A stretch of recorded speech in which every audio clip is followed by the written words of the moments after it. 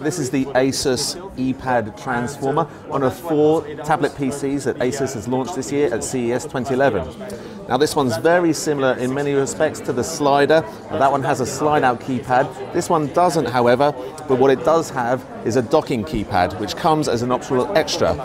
So you can use it as a tablet like that, and you can dock it just here into the keypad and there's a locking mechanism here for unlocking it as well and then it can fold up like a clamshell netbook upon itself.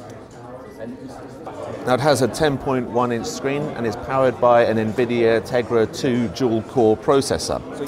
The tablet itself will give you 8 hours of battery use but when it's docked with the keyboard you'll get a further 8 hours taking that up to 16 according to Asus.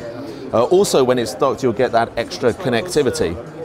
So here you can see you've got a USB slot, another USB slot, uh, power charging, and an SD card reader just here.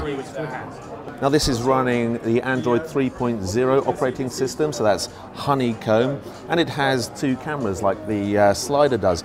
It's got your front-facing 1.2 megapixel camera for video calls, and your rear-facing 5 megapixel camera for regular photography.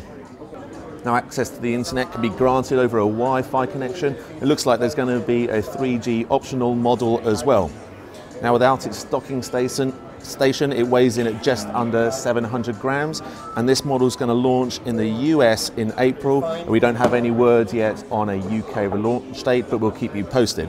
So for more information on the Asus Eee Pad Transformer and the other models that Asus have launched this year, and for a whole host of other tablets, go to our website at which.co.uk forward slash CES 2011.